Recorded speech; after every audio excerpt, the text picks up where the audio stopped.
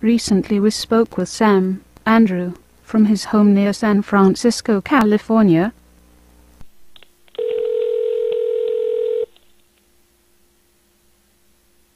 This is Sam. Hi, Sam. It's Jerry. Hi. Uh, let me get a quick level here. If you talk for me a little bit. All right. This is Sam Andrew from Big Brother and the Holding Company, and All right. I also played in Cosmic Blues Band. And, and I'm- Okay. All right, Jerry. All right. Will you talk a little bit about what it was like before Janis? Before Janis Joplin became part of Big Brother, because I know that there was a Big Brother and a holding company going down in San Francisco, and you were pretty important before she came around. Right. We yeah, Big Brother was fairly well. There were you know five bands probably in San Francisco: Jefferson Airplane, Grateful Dead, Quicksilver, Country Joe, and Big Brother. I, there are probably other ones, but you know those got a lot of press, and you know we'd been we were you know a working band and all that by the time Janis came to us, you know, and uh, uh, famous, you know, in the Bay Area, famous regionally. Had a good draw, as they say. We had a good draw, and then our manager Chet Helms, who's from down your way, Dallas Fort Worth, Uh-huh. uh, you know, said, "Hey, I went to school with this woman, you know, and it was uh, she could she could really sing. She's like the real deal. She has very authentic voice, and you know, she sounds kind of like Victoria Spivey from Houston, Texas, and she sounds kind of like Bessie Smith and Big Mama Mae Thornton, and you know, she has this really good voice, and she's working with a bluegrass trio down there in Austin right now, and you know, uh, she has a rather wild lifestyle, but in her music and in her singing, she's very disciplined and she puts in the time and she has a work ethic and you know she works up these real tight things with these people and that sound very good and you know what do you think and we all said bring her out here you know it sounds great you know. And uh he did. And she came and auditioned with us in June of 1966 and uh you know we loved her like immediately. You know we, we couple Peter and James had heard her before, you know, and they knew she was strong, and uh, I just thought she was really great, you know, from note one.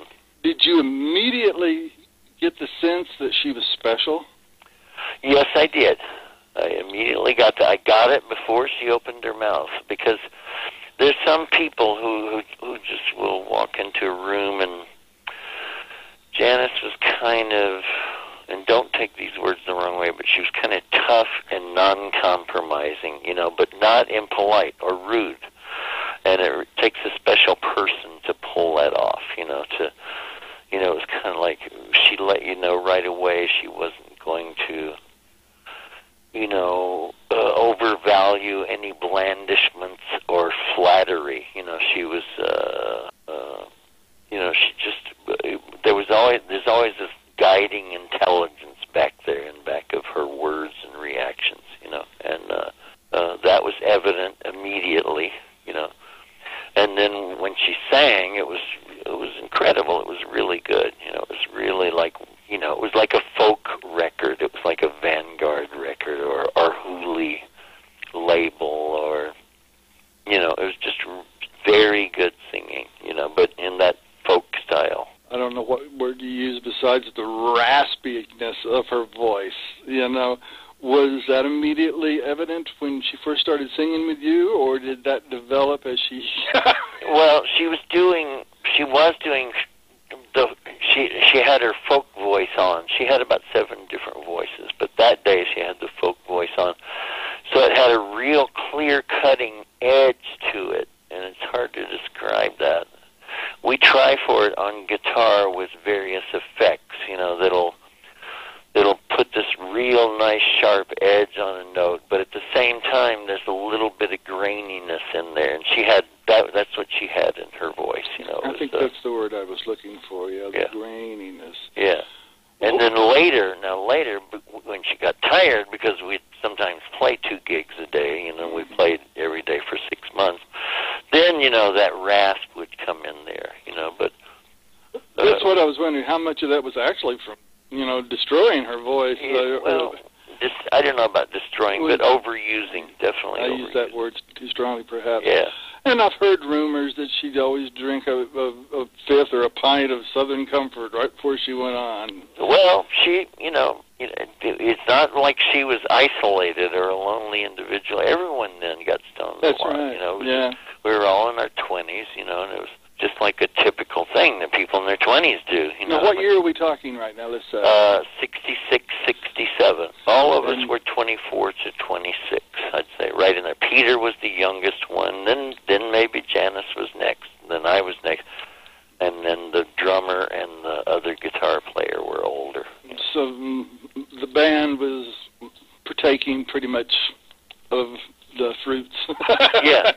what was They around. were, but not. but not like anybody else actually at the same time. It yeah, just kind of everyone was doing it, not, but not the bass player. He wasn't doing it. oh, uh, he had he already had married and he had a child. So you know, he was just naturally more responsible and and uh, you know he didn't do any drugs and he kind frankly he kind of missed the '60s a little bit. But he was he he was there at the beginning, but he had those Yeah. other commitments. and- uh, I wonder if he has any regrets in that area. no, I don't think so. I Yeah. think I think if anything, he's overly proud of that. You know what Well, I mean? good, good, good, Yeah, good. it's hard to say. We, we pro- you know, uh, people often ask me like, what what was it like? What, what would it have been like without drugs? And I can't say that because it wasn't without drugs. You know, but uh, it would be interesting to try those two Well, did you experiments side by side. Did you? I don't know if I should use the word often, but did you? Uh, I'm going to use it often. perform while tripping on LSD. Well, no, It was not, not a lot, but I did. I did. I know what it was like. You know. Yeah, that must be odd to stand in front of large crowds. Yeah, probably. Maybe I might have been the only member of Big Brother to do that. I'm not sure. I'm not sure, but I, I definitely did it. A few It did happen, and yeah. Was all the band doing hard drugs besides yeah, the bass always excepting the bass player. player? Yeah, but he had no uh, problem hanging out with you guys while you were hitting up. No, no, but we didn't show it to him. You know, I mean, you respected him, and yeah, yeah, yeah, that, I that's hear you. exactly. I, I we didn't show it to him, and uh, probably Janis the most, me the second, James the other guitar player the third, and Dave, as is typical of him, way down the road. You know, two or three years later. And you know. some of that really, this sounds kind of funny because everybody's going to say I'm crazy, but some of that is not really even your fault because where you were at in that time, it was readily available to or made available to you, I would assume. I mean, because you Yeah. were rock stars, everybody wanted to turn you on and get high with you, and you weren't going to say Yeah. no and that kind of thing. And Yeah, that's right. But uh, you know, it, at the same time, we were working. We had a job. We didn't tune in, turn on, and drop out. We dropped in. You know, we had Oh. we had things to do all the time, including seeing lawyers and accountants and so on. You know, and you had to traveling.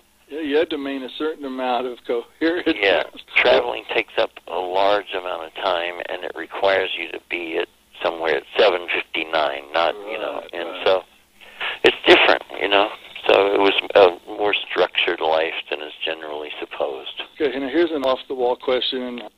Janis, Jimi, and Jim Morrison, they're kind of the trio of uh, of all lost. Now, personally, I don't believe the stories that Jimi Hendrix died of a heroin overdose. There's even stories that you know John Lennon too that the CIA killed all three of them because they were just drawing a little bit too much of a crowd, and they were. That could be, but I don't believe it. But it could be. I, you know, I don't know. I was You don't subscribe to any of that. no.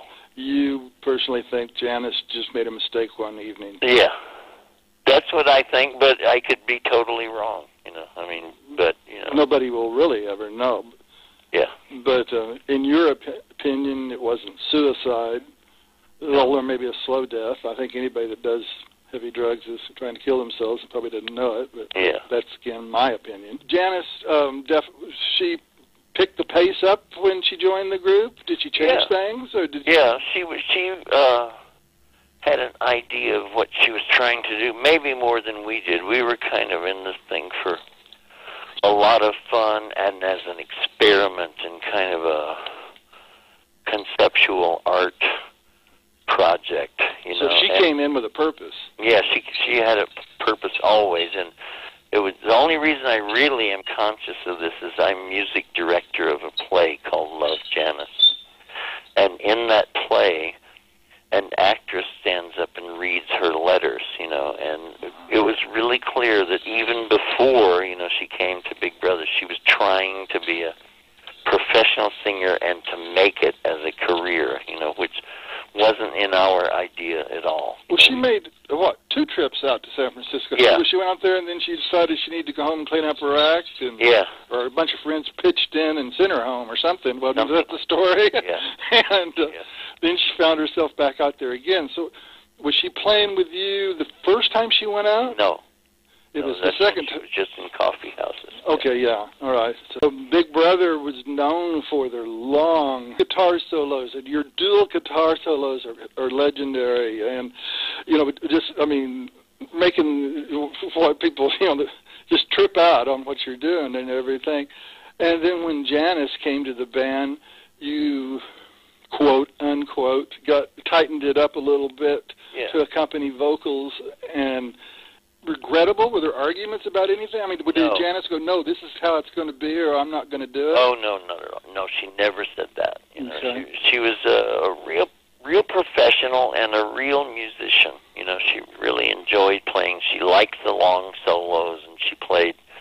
You know, she'd play percussion instruments, and she really got into it. She would utter cries and so on that would propel the thing along. I mean, she totally, you know, bought into the whole thing that Big Brother was doing. But you know, she is a singer, so you know, she's going to sing one verse, then she wants to know, you know, where can I enter to do the second verse, and then Right. when that's over, where can I enter to do the bridge? And so it's just a natural. Prob- even even if we would have never got a vocalist, that process would have probably happened. You know, I mean, it's just a natural, just tightening up of things. You know, So she didn't crimp your style any. no, not at all. But do you, do you feel that she uh, inspired you? Yeah, definitely.